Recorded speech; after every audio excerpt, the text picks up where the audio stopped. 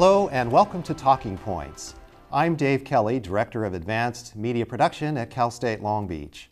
Today our topic is probability and statistics. We'll try to determine if it really is all about the numbers. My guest today is Dr. Omer Benli. Dr. Benli is the Associate Dean in the College of Business Administration. Welcome, Omer, and thank you for joining us on Talking Points. Thank you. Glad to be here. Thank well, as we talk about this topic of probability and statistics, it's hard to overstate the pervasive way in which numbers, statistics, and uh, probability are used in everyday life. It's everything from uh, buying insurance premiums uh, that are based on actuarial uh, tables and actuarial science. And then we have, uh, during election season, we're all inundated with statistics from both sides to try to sway our vote. And we know that companies are using massive amounts of data to determine strategic direction and also marketing campaigns. And we know that the government is using copious amounts of data to regulate industry, to solve crime and deter terrorism and things of that nature. So, given that this is the case, what can we do today as individual consumers of information? Are we statistically literate enough, or is there more to be done in that case? Uh, that's a very important point. Uh, uh, in, in, in, my personal view, I don't think the uh, general public is uh, well educated in this area, or as much as it, they should be.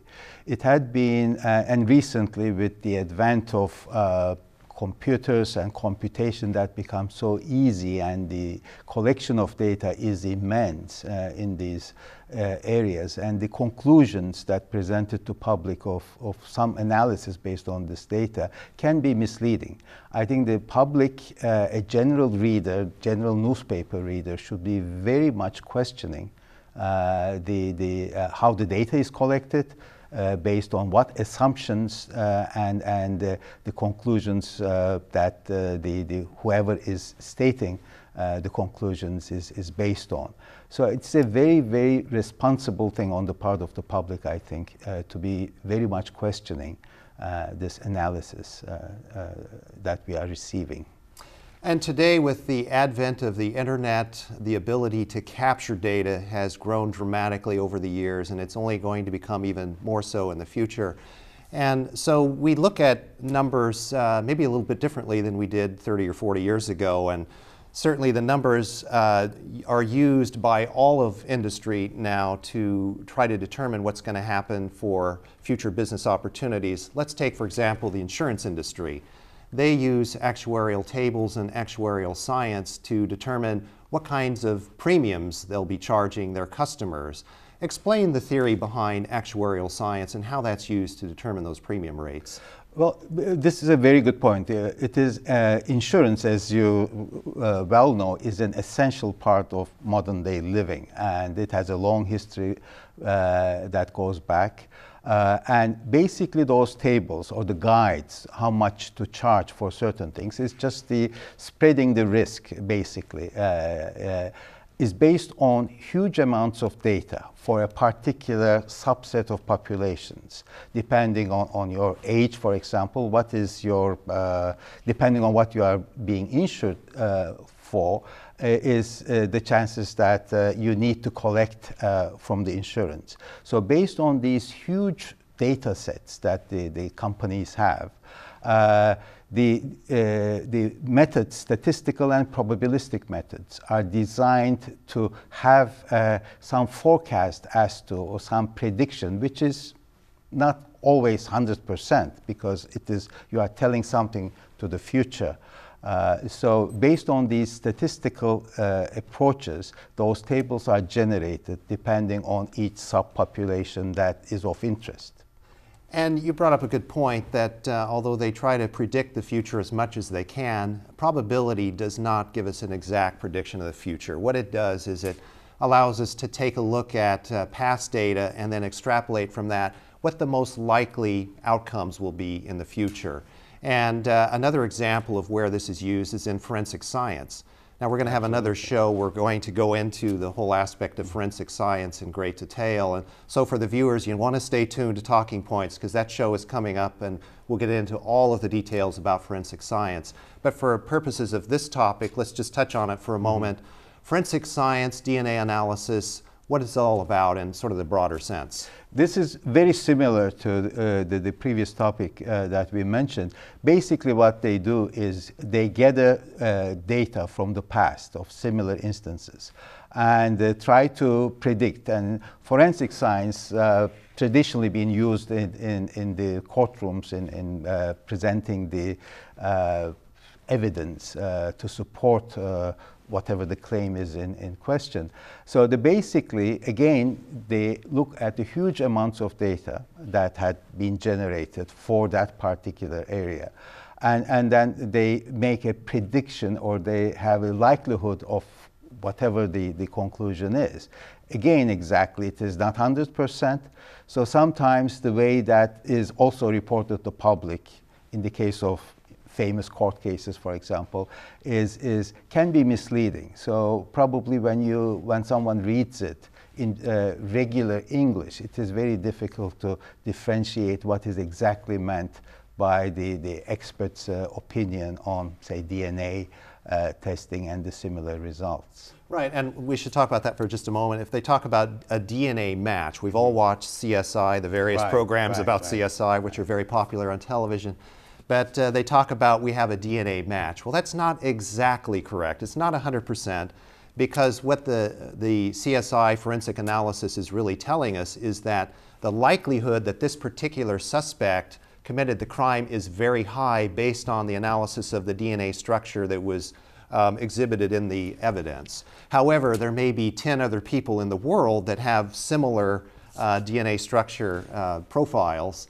But since those 10 people don't live in the vicinity and this suspect does live in the vicinity at the time the crime was committed, we're going to call that a match. Exactly. Uh, and that is why it is so important that someone, jury for example, would decide uh, on the likelihood of this crime is being committed by this result. So all of these are decision aids to decision makers in the case of the jury or, or the judge uh, to make a decision. So it is not a 100% certainty because we live in a probabilistic world and everything is based on likelihoods. Uh, the, these sciences uh, do not give an exact 100% uh, ac accurate uh, uh, conclusions. Well, I think this topic came up in another show that we did where we said the science is digital, but our lives are are um, analog, analog right? We're analog people in a digital world. Exactly. Um, exactly. Um, in terms of the numbers, uh, let's move to another topic, which is gambling, because mm -hmm. gambling is all about probability. Mm -hmm. And uh, for those that spend time in the casino, they know that they usually walk out a loser. And, but there's a certain investment of time and entertainment value that goes along with that. So you assume a risk when you go in the casino. And uh, so people apparently assume that the entertainment value outweighs the risk of losing the money. Uh, exactly. The thing is that as, as uh, the odds that certain things say the, uh, in, in, gambling is again it's based on probabilistic odds and those odds are either formalized through some theory uh, and in some other cases, it's based on statistical uh, analysis of past information. Again, it's very similar to the other uh, sciences that we have been uh, we have been talking about. Is that looking at the past or the the theory behind it, how to predict something. This is how, for example, a, a gambler uh, bets on however much uh, he or she is betting on a particular case, the, the, uh, based on the intuition or just the past experience. So, but the fact that it should, as you uh, put it uh, very well, uh, is, is the fact that the gambling is especially playing against the casinos, one should not expect uh, to, to beat the casino. Uh, the idea here is that uh, one should always remember the uh, entertainment value for uh, attending such uh, events rather than trying to beat the casino or hoping to beat the casino is Right, the house always wins, and, and the main reason is because they have such deep pockets. Exactly. We can't hope to compete with, with what they have in terms of resources. Exactly, exactly. And uh, when the California lottery came into existence back in the 1980s, I remember they were talking about the statistics and the probability of, of winning the lottery. And at that time, I believe the statistic was 14 million to 1, meaning that if you bought a lottery ticket, your chances were 14 million out of 1 that you would win. And uh, as an analysis comparative to that, someone stated the fact that, well, the chances of you winning the lottery are about the same as being struck by lightning, not once, but three times in three different locations. So, in other words, you'd have to be struck by lightning three times in three different locations to have the same odds of winning the lottery. Which reminds me, if you if you do survive three lightning strikes, maybe you should buy a lottery ticket. exactly, exactly. but uh, moving along here, I guess we can also uh, use statistics to mislead people intentionally if we want to. If we're in a marketing camp, if we're with a marketing campaign and we're trying to sell a product, we can use a a statistic that is technically true, but not an accurate representation of what really exists in the real world. For example, you might see a diet weight loss product that says if you use our product, you have three times greater chance of losing weight. Well, if you look at the analysis comparing the other products, uh, your initial opportunity to lose weight might be one out of a 100. But with this product that has three times greater, it's now three times out of a 100. So that's three times greater, but you still have a 97% chance of failure in this case. Absolutely, and this is, is, is a very important point, especially in the business world. Uh, and this, this uh, it is not, as you said, it's not technically incorrect what they have stated in that, but it is, uh, it really opens the, the doors for misunderstanding by general public. Now, is this an ethical issue? Is this is proper to say that, knowing that what an ordinary person would interpret the result is a very important issue. For that uh, uh, point is very important in our uh, business uh, education, uh, educating business professionals. We do have uh, programs, uh, ethics across the curriculum in every course that there is an ethical aspect. And we are trying to educate our uh, students, the future business professionals, uh, is this an ethical uh, statement or not? Uh, so this is uh, something that is, is very important. If one says technically correct things, but nobody really has, like in that example that you mentioned, is know who are going to look at the data. In these commercials, the data where this conclusion comes from is not really given. If one has to find that data, then the results are you know, 97%.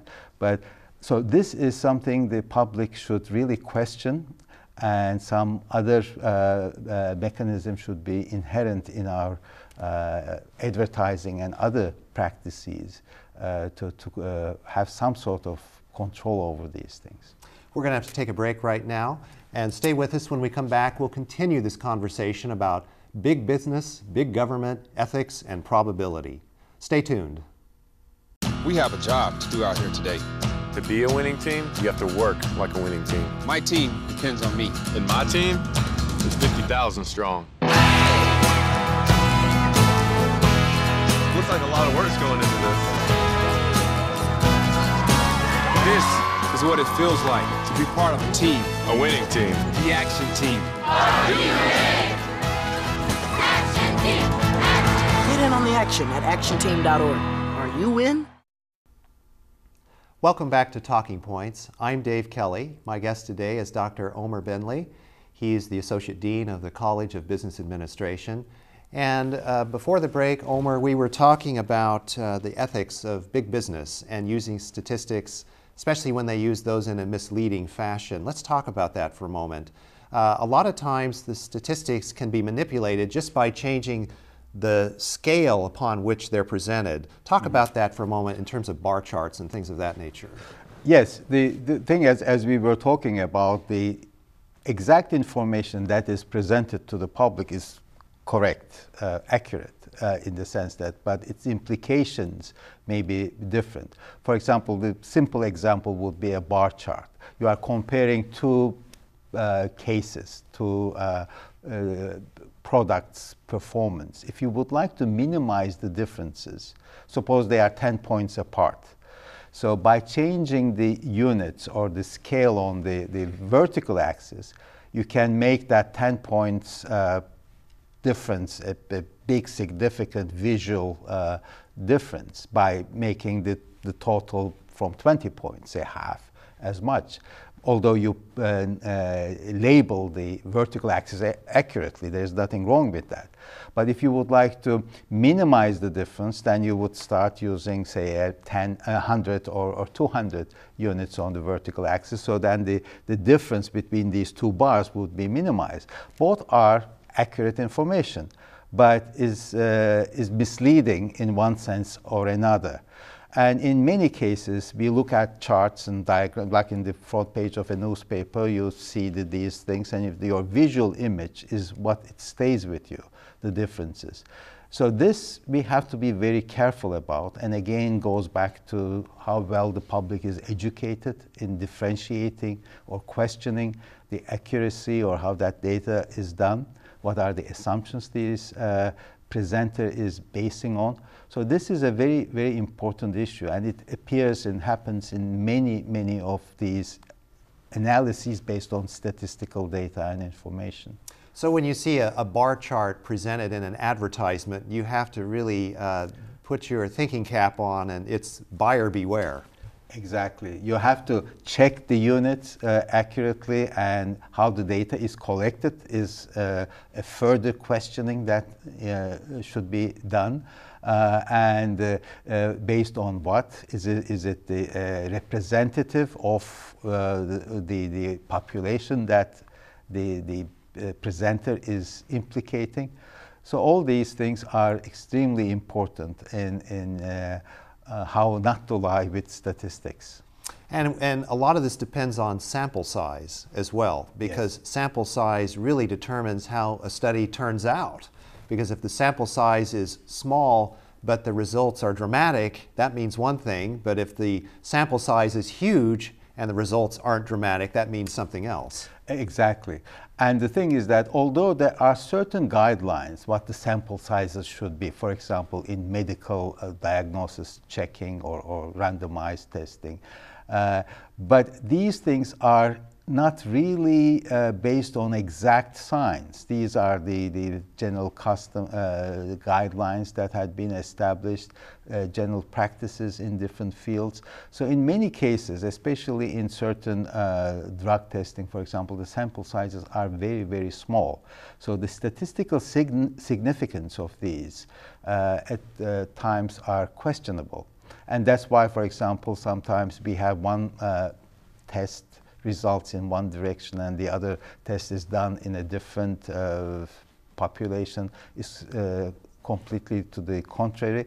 So these things are, again, coming back to our uh, general theme, is that all these analyses are not exact. Uh, so the thing is that as, as uh, the, uh, someone said, the mathematics, uh, the pure mathematics is, is uh, for an imaginary world. Statistics is for the real world. Because of the real world is so complicated mm -hmm. that we can only give statistical answers to the questions that we face. Right, and so what you're saying explains why we read in the newspaper one day that chocolate is bad for you, and then six months later we read another story where it says, no, chocolate's actually good, good for, for you. you. It's good for your heart. Uh, so it goes back and forth, and a lot of it has uh, it has a lot to do with the sample size, how the study was conducted, and the range of time in which the study was right. conducted as well. Right, and and like for example, sometimes even certain drug companies or uh, chocolate manufacturers sponsor these uh, testing, but most of them are, are, I believe, quite honest in this, although the, the, the uh, public questions the fact that if, if uh, a particular study that is done in some uh, institution uh, sponsored by Nestle Corporation, could they really trust it? I believe they can. The problem is not because Nestle is sponsoring, in my opinion. Uh, but because of the certain approaches that we use are not exact again, it is just uh, uh, certain indicators rather than uh, absolute conclusions. So I guess in the ideal world that you mentioned a moment ago, in the ideal world, I guess full disclosure, would be the best thing possible. Yes, yes. And, and the thing is that, again, uh, that full disclosure should be made openly, not in a very fine print. Uh, uh, you shouldn't have to search to find exactly. out the stuff that really matters. Right. It should be up front. Right. right. That would be important. So, in terms of back to this question of ethics, businesses, uh, of course, will do whatever they can to increase sales within reason, within the law, if they can. But uh, it seems to me that from an ethical consideration, if you look at the bigger picture, companies, it's in their best interest to be as truthful as they can be because consumers are not entirely stupid. I mean, they are going to draw some conclusions after experiencing the effects of a product or using a product, et cetera. And so isn't it in their really in their best interest long term to be honest? Yes, and not only that, there had been some research in many fields, like the, I know marketing, a colleague of ours in, in, our college is, is doing research on this, is, is the fact that if you uh, use ethical principles in, in your business practices, your profits are higher.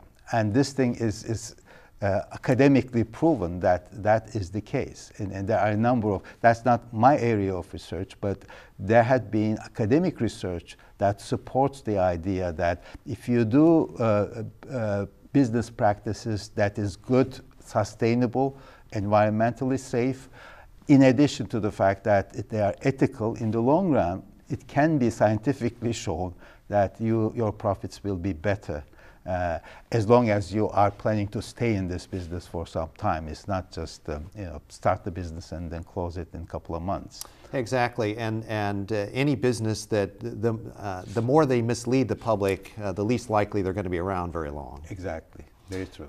Okay, so uh, let's move along and talk about predictive ana analytics. Predictive analytics. Uh, that this is related to algorithms.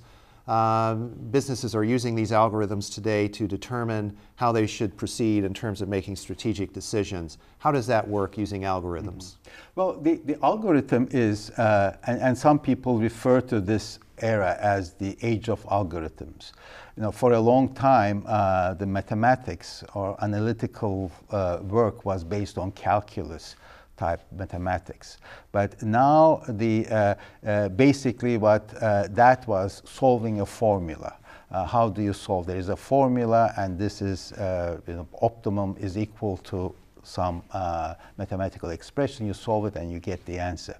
But many of the problems we face now is based on they cannot be solved in one step they have to be solved in iterations, and steps. So the algorithms are basically uh, step-by-step -step procedures to solving a problem. And these steps must be well defined uh, they are uh, so that one can program them to, for a computer. It doesn't, they don't, they cannot be vague steps. They have to be expressed. And after a finite number of steps, iterations, uh, the, the answer is obtained. Now, the, sometimes the uh, answer is, is not the optimal solution, but it is a good enough solution because of the, the difficulty in solving these huge intractable problems. So the algorithms are these. They are very uh, sophisticated algorithms that each step, each uh, uh, iteration is not identical. For example, the algorithm itself can flip a coin to do this step or that step and then continue. So these randomized algorithms are also a very efficient way of solving wide variety of problems that cannot other, otherwise be solved. So the, the, again, these uh, algorithms are essential in predictive analytics. Predictive analytics is, again, just like the other topics that we were looking at, they look at the past data, present data, and to be able to say something to the future. So these are a huge, they depend on now because of the availability of uh, inexpensive storage uh, of data. Now we store now huge amounts of data. Uh, for example, the, the, the Google uh, database is about 200 times uh, larger than the, the uh, all the books and, and other material that is stored in the Library of Congress, which is the largest library in the world. So the, uh, so the Google is continually crunching this database to come out with certain uh, analyses how these things are to be done. Now, if I could just, uh, we've only got a couple minutes left, so I want to be able to talk about how the government can also use data mining to gather and obtain information about us. A lot of people, in response to the uh, to the um, revelations about the NSA. Uh, that came from Edward Snowden are saying, "Well, I'm just going to get off the grid." Well, it's not that easy to get off the grid. Absolutely not. What can uh, what is the government able to track in terms of uh, what we do with the, the internet and with cell phones? Well, uh, the thing is that, as, as you uh, mentioned, the, the using a cell phone by itself is, is the uh, data is being uh, recorded in um, every form. Uh, and if you uh, visit certain sites on the uh, internet, uh, that can be traceable. So there are a number of issues uh, that are dealing, and this information is, is being stored in, in telephone companies or the, the service providers as well as the internet uh, uh, service providers. Uh, the question is that how is this information that had been gathered is being used? In the positive direction or harmful to the public interests? That is, I think, the major question that uh, we or everyone is currently debating about. And it's going to be a question that we'll be dealing with for a long time, I have a feeling. Absolutely. And unfortunately, we're out of time, although this has been fascinating. Thank you so much for joining us today. Thank you for having me. Thank you. And thank you for joining us for this edition of Talking Points. Join us again soon for another episode. Until then, I'm Dave Kelly. Have a nice day.